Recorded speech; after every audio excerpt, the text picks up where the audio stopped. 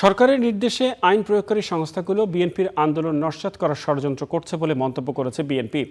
সংবাদ সম্মেলনে দলের মহাসচিব বলেছেন, আইন শৃঙ্খলা রক্ষাকারী বাহিনী জেলা, উপজেলা পর্যায়ে বিএনপি নেতাকর্মীদের তথ্য সংগ্রহের যে উদ্যোগ নিয়েছে তা বেআইনি ও সংবিধান পরিপন্থী।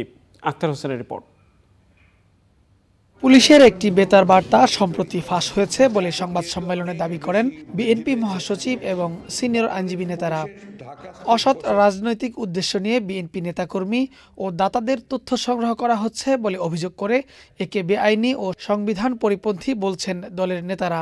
এই ধরনের সার্কুলার পুলিশের আইনেও নাই আমাদের সংবিধানেও নাই। কোথাও আপনি পাবেন না। অর্থ যোগানদাতা জনবল সংগঠক সহযোগী। এর মানে বিরোধী রাজনৈতিক কর্মীর ডাটাবেস তৈরি করবে যেন কেউ বিরোধী দল করতে না পারে। এটাই ওদের উদ্দেশ্য। রাষ্ট্রীয় পুলিশ বাহিনী কখনোই বিএনপি বা অন্যান্য রাজনৈতিক সংগঠনের নাম উল্লেখ করে কোনো ধরনের সার্কুলার তারা দিতে পারেন না। সম্পূর্ণ বেআইনি এবং আইন বহির্ভূতভাবে এই কাজ করছেন বিএনপি মহাসচিব বলেন আন্দোলনে ভীত হয়ে সরকার বিরোধী দলকে নির্বাচন থেকে দূরে রাখতে চাইছে। যখনই একটা বাহিনীর উপরে স্যাংশন হলো, তখন তো আপনার গোটা জাতির উপরেই আপনার স্যাংশনটা এসে যায়। এটা আমাদের জন্য লজ্জার। কলঙ্কিত অধ্যায় যে আমাদের একটা বাহিনী, তার উপরে একটা স্যাংশন এসছে।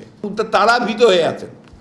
তারা সন্ত্রস্ত আছেন যে যদি সুষ্ঠু নির্বাচন হয়, তাহলে তারা ক্ষমতায় আসতে পারবে না। এটাই হচ্ছে মূল কথাটা।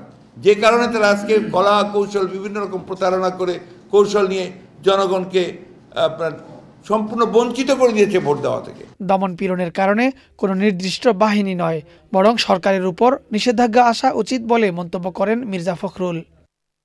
Akhtar Hossain, Channel i, Dhaka.